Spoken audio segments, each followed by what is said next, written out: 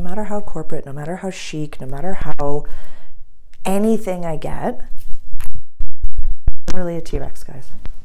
I'm a T Rex. This is my T Rex sweater. Yeah, yeah, yeah. I thrifted it. I think it was originally like an Ann Taylor or something or other, but I'm a T Rex. I know, it's awesome. Welcome. Today we are going to be just, we're in the middle of Aries season and we're going to be discussing the full moon that we have coming up in Libra at 16 degrees. Please grab your journals for this one. Um, and we'll, we'll kind of just chat a little bit about the vibe and then I will get into our individual readings for the rising signs, but you can also watch for your sun and moon signs. So I constantly keep picking up the tarot cards and I don't, I just want to see, you know, what does this community need to see going into this Libra full moon?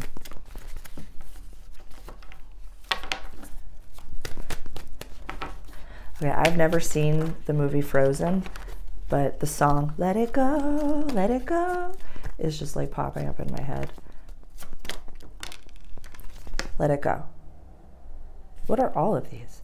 Let it go, let it go. Never even seen the movie, but I feel like let it go. Let everything about the past structures everything fall to the ground. Let every bit of the set, the stage that was the old planet Earth, let it fall to the ground. Let all the things you thought that you knew and show up every day as this motherfucker. We're all on this journey. The world needs you to be you, not what you think the world needs you to be. You know better. You motherfuckers, you know better. I'm just going to preface this video that it is Aries season. I am an Aries sun. It's conjunct Jupiter in my natal chart in my fifth house of childlike spirits, creativity, and childlike expression. So, although sometimes I could come across as a boisterous 22 year old, I know a thing or two about a thing or two, but I swear like a motherfucker sometimes. So, buckle up. Buckle up.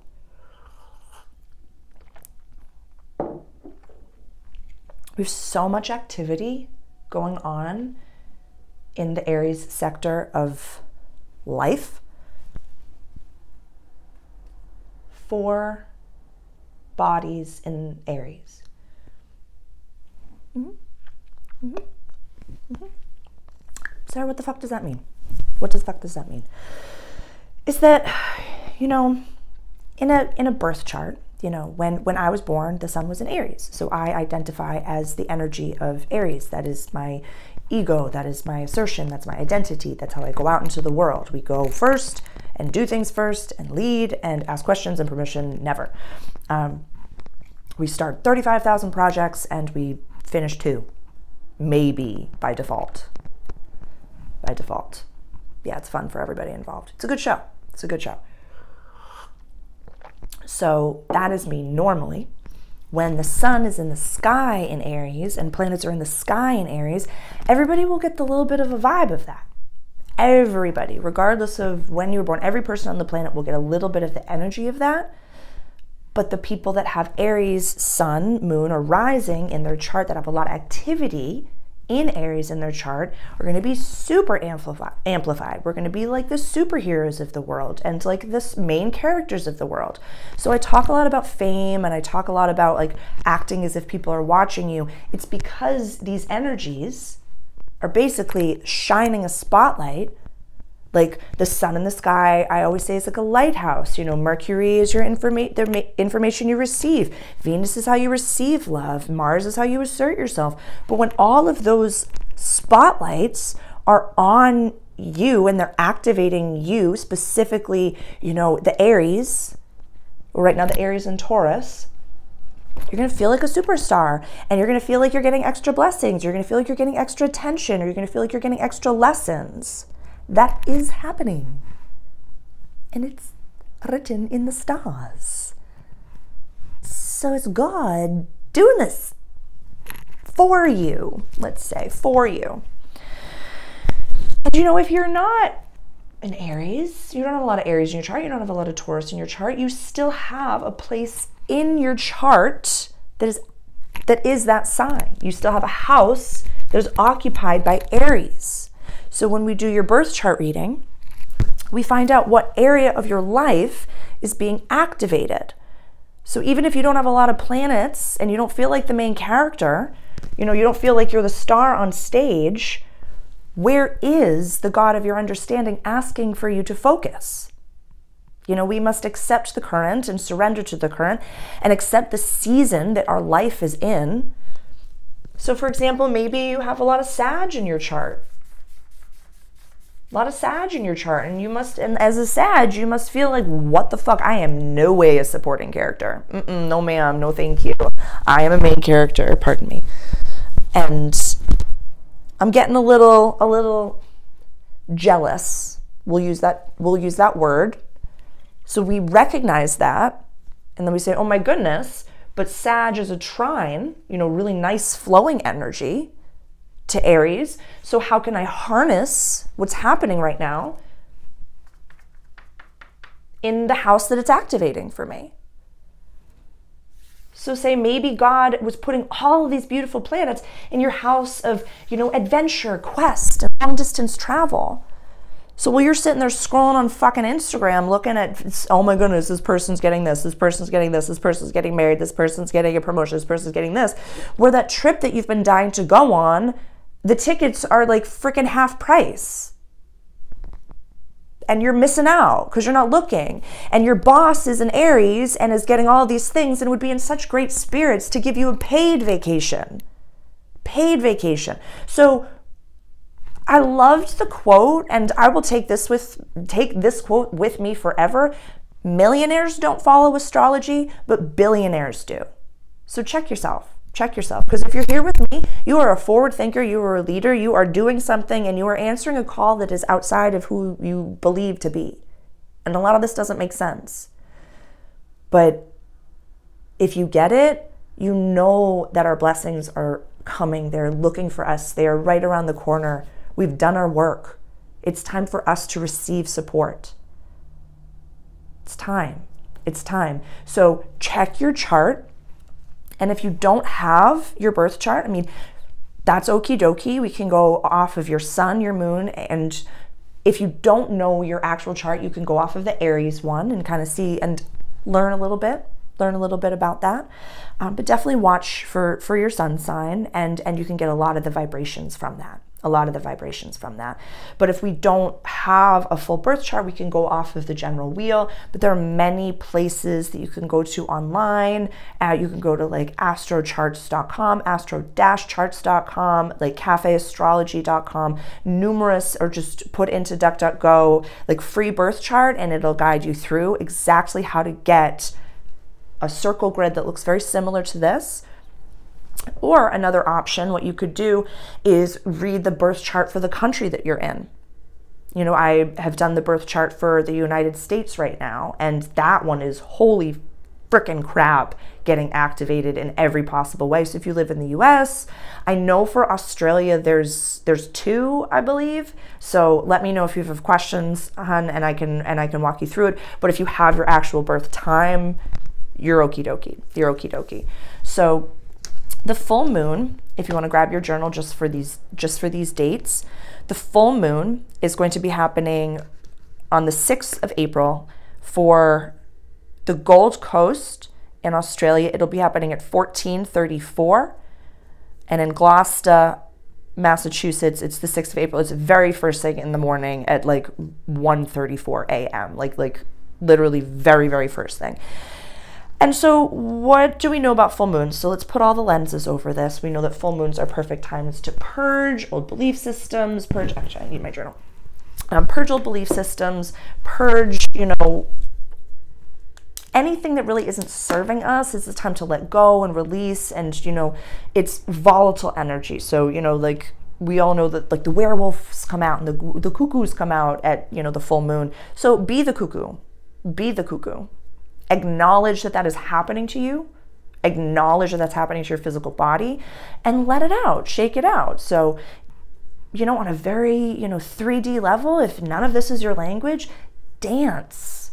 You know, move your body, gyrate, get it get it all out in a way that just feels like your brain is not really involved or you know have really passionate lovemaking great great great intense sex great great great you know intense group activities or you know get you know do um some physical exercise you know with proper form and you know a coach if you don't have any idea how to do any of those things but you know learn how to swing around a kettlebell deadlift until you can't deadlift no more. Like these are really great activities that can like get out whatever it is that you don't really understand if none of this is your language and you just feel like, Sarah, what can I do when I don't know what to do? Shake, move, breathe, wiggle, like get movement in areas that are stuck, you know? Let it out. Lion's breath, stuff like that. Stuff like that. Full moon energy. We're in Aries energy right now, which is the rambunctious ram, cardinal fire energy. We want to go first. We want to go fast. I want to like never ask questions, never ask permission, just fucking do it. Like that's Aries energy. But this full moon, where is it? That's where the moon is right now. So let me move it to where it's going. It's going to be over yeah.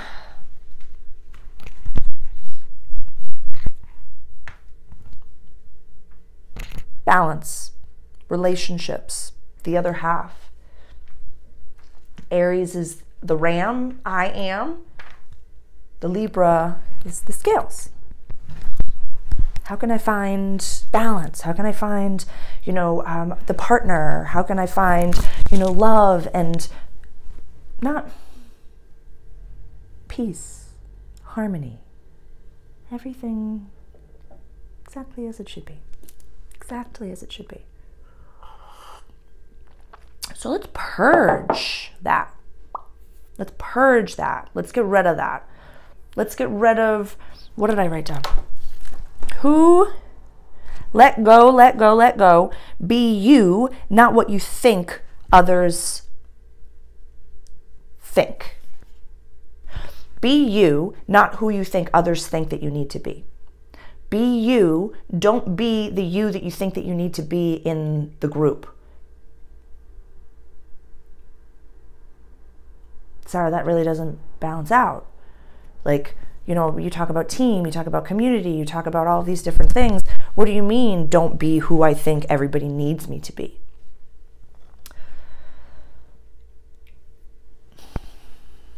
No matter what your belief system is in this ever changing world, you're different than you were three years ago. You're different than you were at the beginning of the year. You recognize that you kind of change a lot quicker than you really thought. You know, a dear friend and mentor and mentee, you know, she really reminded me that although I look up to her and although she's a few years ahead of me, she, anytime there's an exchange, anytime there's a teaching, there's an education, there's a learning. No matter how far we hermit, we are always the fool. We're always the fool. Um, what was I saying? She reminded me the other day. It's always a pass along. Oh, completely lost my train of thought on that one. Completely lost my train of thought on that one. I just went down like this rabbit hole of like, oh my goodness, she's a Libra and she's going to be getting a lot of her blessings and yada, yada, yada. All right, it'll. Oh, that's what she said. We, you know, have past lives, have known each other for lifetimes over, but in the physical, we've only really connected within a magical space since I'd say like November, Diciembre, 2021. Um, so, yeah, like November, December of last year. And that's wild. And she goes, You know, you've changed so much since then. You know, the way that you process information is so much more efficient. And she's like, although you know when it needs to be high highs and low lows i'll go down those low lows and high highs but the way that i view things i'm not afraid anymore not afraid of them anymore. And so finding that was so poignant and um, just recognizing that, like, wow, even since December, I've changed a lot. Even since December, I've changed a lot.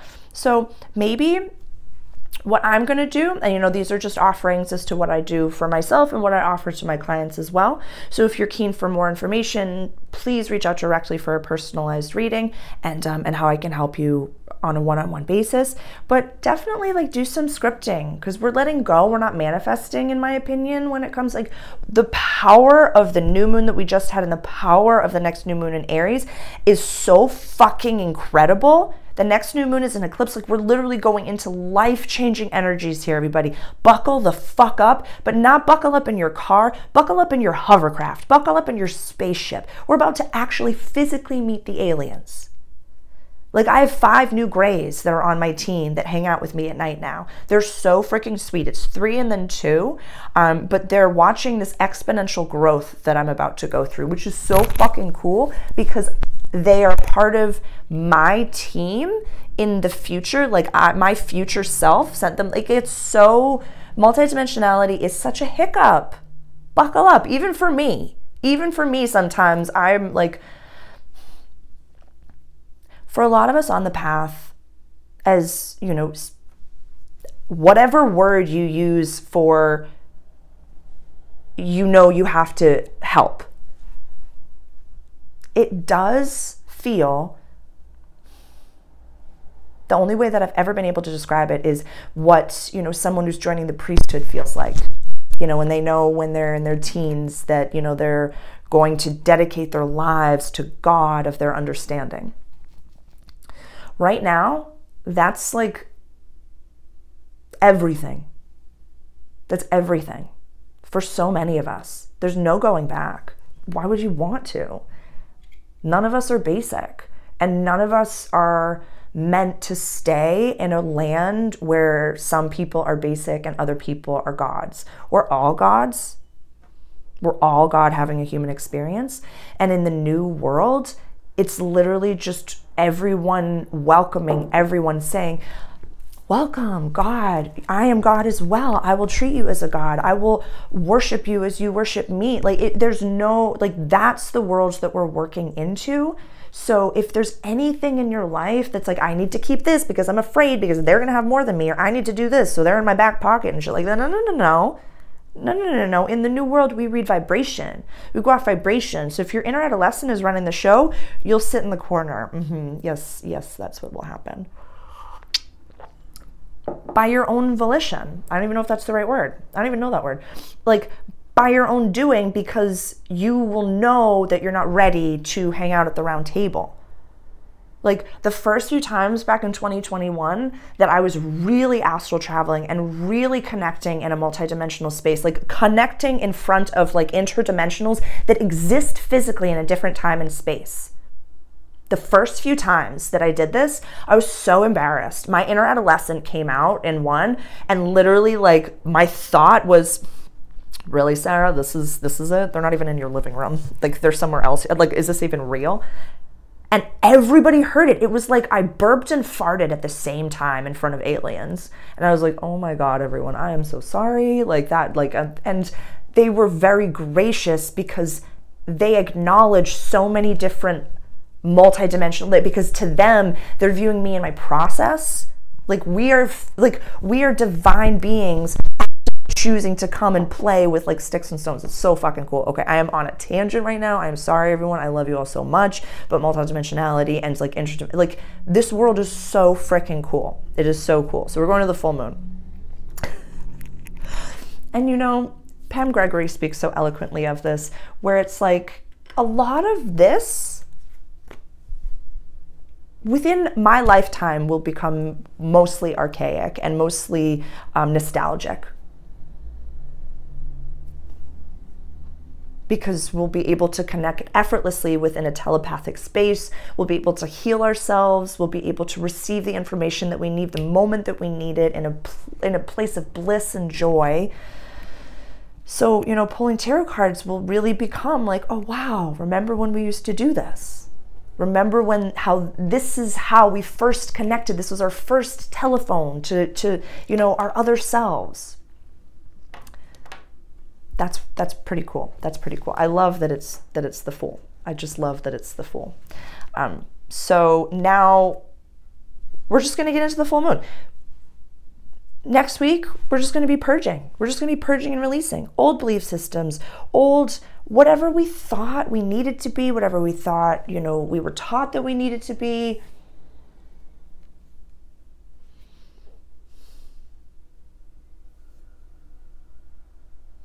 Be who you dreamed you could be when you were a child. Remember that you. Before anyone told you that you had to pay a bill or that you had to participate in a way you didn't want to. Did you want to be a fireman? Did you want to be a gymnast?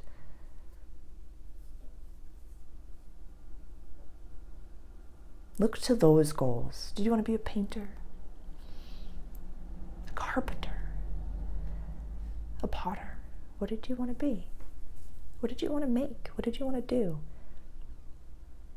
Ask your dreams to remind you and let go of anyone else's opinion. But your own soul recognizing that you're worthy of just being every facet of your diamond.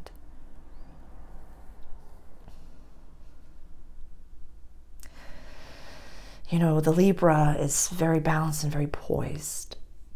Whereas the Aries would say, fuck you, and punch you in the teeth before they bought you a cup of coffee. So I think in this full moon, what I want you to learn how to say in Boston go fuck yourself. Go fuck yourself. Or fuck you, whichever one you'd like. But I'd like with with love, with love with love. Like it's just like a, it's like a, go away, go away. Like when I say go fuck yourself, I just mean like get out of my reality. Stay out of my reality. Can you just can you just move yourself from my reality? It's okay to have that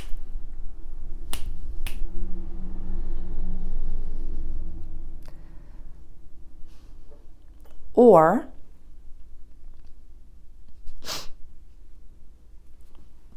my dear Grammy, bless her. She's passed on now and was this demure, quiet, soft spoken woman. And, you know, I'll never forget one of the last times I saw her, we were down visiting. And um, my stepmother at the time had just was telling a joke or just saying something, and it was gossipy. It was just.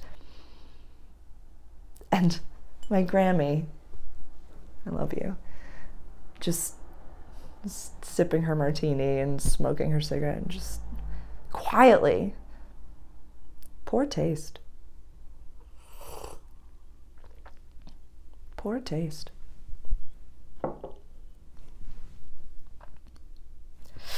I know. the air left the room. So, if I can offer, I think at this full moon, usually I don't say like whittle these new tools, but any version of go fuck yourself to poor taste that you can incorporate into your repertoire and try it on in the mirror so that if ever like I'm literally just like visualizing like a beautiful like fisherman, blue collar gentleman that just like wants to paint and he's just like going outside and he you know has bought like a canvas and he's bought like a little set and he wants to go outside and paint his outside of his house. And i'm visualizing him just like going out to like main street and like setting up his easel and like maybe some of his buddies walk by and are like whoa you're painting? I want him to say whatever version of go fuck yourself to poor taste that can let them be on their way. Like i want this phrasing to be literally one phrase like literally an okay stop or a no stop, whatever this phrase is, that is get the fuck out of my reality. Move along. Move along. You're not welcome here. No, no. You can watch from that sideline. Because I don't want anyone affecting this. I want you big. I want you bold. And now is the time to. My last video was literally about like, this is a boundaryless world. You know, we are going to be open and exposed to everyone. So recognize you don't want to have to process with these people all the time that want to come into your reality. You want to be able to say, "Hey, no." That's that's but with love. Goodbye. But no. So yeah, maybe no. But from go fuck yourself to poor taste, let's find a phrasing that is that we can keep with us as we release any fox that we give about how people will react to that. Wait, wait. For some of you nice people, I'm literally telling you about how to set a boundary with someone who's being an asshole to you. So, if someone's an asshole to you, it is okay to say no. You do not get to rattle my cage. You do not get to come into my reality. You can stand from the sideline and you can scream your obscenities over there like an asshat. That's where you belong over there. That's okay. Let's leave them there.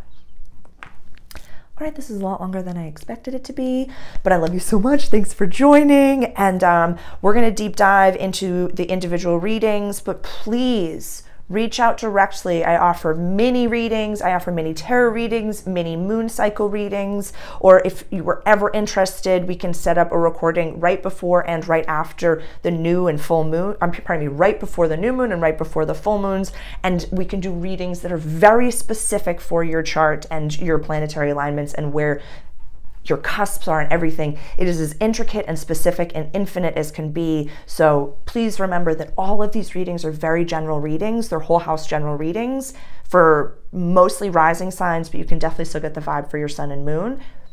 But I'm here for you. I'm here for you. I love you.